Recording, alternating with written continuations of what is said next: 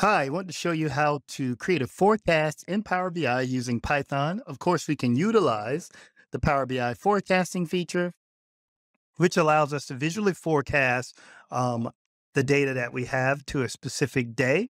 And as you see here, these are our actuals. They're just page views. We can see there are some peaks in the data, but it looks very seasonal. And you can see that this is a weekly seasonality. But we also see this trend where we see increasing data in the last month. And we want to be able to pick that up in our model. So if we go down here to the Power BI model, you can see that we have a seasonality and we can definitely control that seasonality. So I can click into this. And if I go over to the analysis icon and I hover down to the forecast feature, you can see what I did. I forecasted 30 days out. And then we have a 95% confidence intervals that I didn't have. It was able to predict the seasonality, but you can just add seven because we know it's a weekly seasonality. And if we apply it, nothing's going to change because Power BI does a very good job in picking up that seasonality. The only thing that we're not being able to pick up very well is the actual trend here. So if I turn the trend line on on this visual, you can see there's somewhat of an upward trend going. And we should be able to add that trend into our data, which will influence the forecast. Now we're able to do that with our Python um, model. And you can see that instead of staying flat here, we're able to pick up this trend in seasonality. And I'm going to walk you through how to do that. It's very easy. So I'm going to jump over to a Jupyter notebook, and then I'm going to jump back here and just show you how easy it is to implement the code.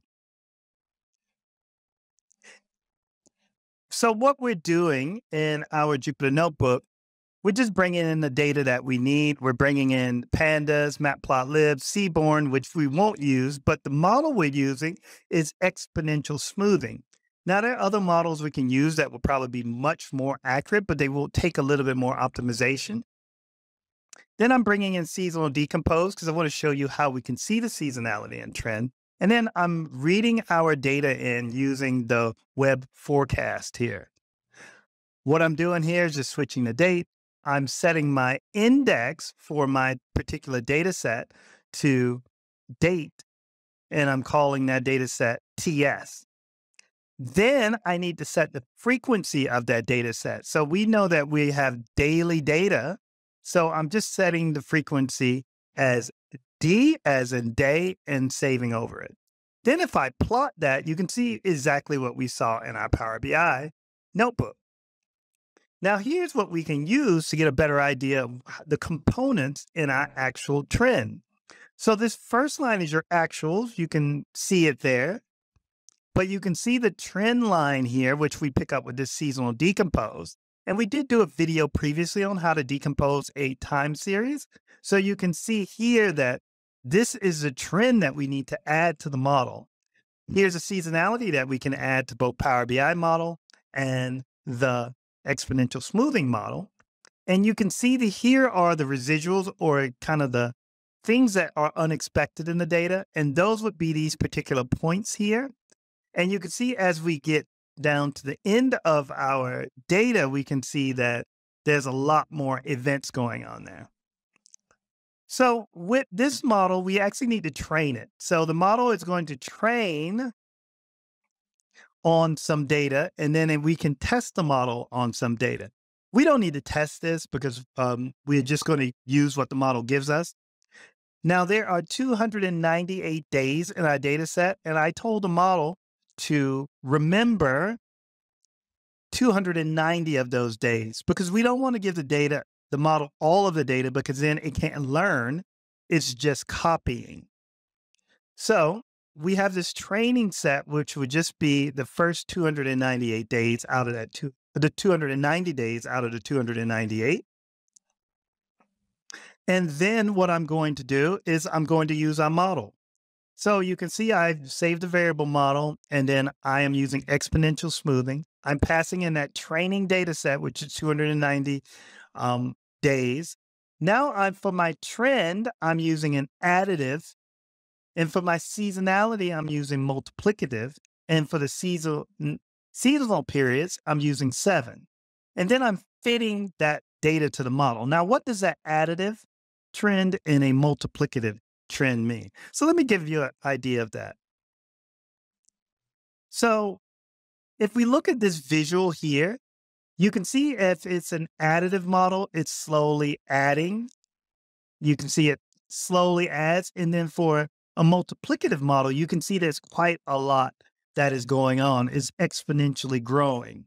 So we can actually add that um, seasonality additive or multiplicative to get a different type of prediction. Now, I played around with it, and usually you might play around with using a multiplicative here and an additive here to get a better idea. But I think we can see from my data, it is really growing when it comes to um, the trend. So I thought maybe um, additive, but we can use multiplicative to see what we would get. Um, and then the seasonality here, we can see that it's slightly growing also. So, like I said, we can definitely change these. So if I change both of these to additive, and I run that particular uh, data, you can see it changes the actual prediction. So if I add multiplicative to our model, so MUL, and run that, so now we have a multiplicative trend, you can see that trend is a little bit bigger. So if we add multiplicative to both, so MUL to trend and seasonality, and this would be you optimizing that model to give you the best result. So once we have this forecast model, we can use it to forecast 30 days in advance. And that's what we're doing here. We're using it to forecast a whole month in advance. And we are doing the same in our Power BI notebook. So you can see if I go back to our Power BI forecast, look at the options. We're just doing that 30 day length. And now I'm going to show you how I implemented that code very easily within the Power Query. So I'm going to go to transform data. Okay. So now that we have that data in what we in the Power Query editor, what we have, we have our actuals. And all I did was bring in the data and then added a new category uh, with a custom category, uh, custom column and use actuals because I want to be able to split between our actuals and forecast. So now if I go to forecast, you can see it's a much smaller data set. It's that 30 days in the future. And if we look at our Python script, you will see similar information here. I brought in a data set, saved it as DF because it's just easier to write. I've created a date change the date to actually a date time, set the index to date, set our frequency to day. Then I brought in our exponential smoothing model from Holtz Winter. I took the first 290 days as my training set, and then I added that data to our model here. So the model is our exponential smoothing model. We add the training data. We're using the uh, trends here. And I think we said we liked multiplicative. So I'm going to change that back to MUL. And then we fit, we gave it the seasonal periods, which would be seven days, which we could see in our data. Then all I did was get a new data frame or table with our forecast. I reset the index and I just made sure they were named date and page view to match what we have in our original data. So I'm just going to hit OK with that. And you can see we are given all the variables within that data. But we'll let the script run for a second. Then if I go down to what we have, we have our predicted values here, and then we have uh, just a custom column, which I have forecast. Now that we have all the same columns, I just appended the two data sets where we have, you know, the actuals and the forecast. Then I'm just going to close, close and apply this.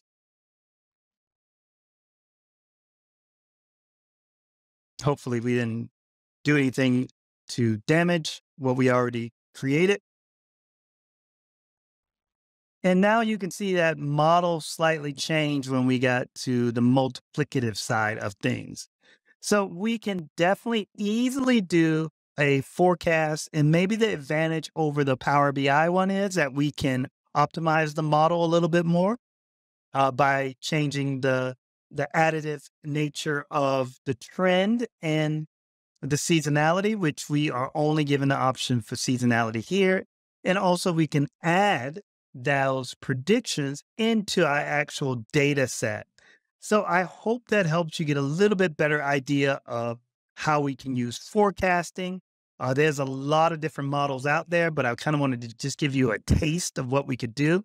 We do have a few videos. Uh, one of the videos I did before on seasonality decomposition, which would be very helpful. And there's a webinar that we have that goes over forecasting. Please ask any questions, and I hope that helps. Hey everyone, thanks for tuning in to Enterprise DNA TV.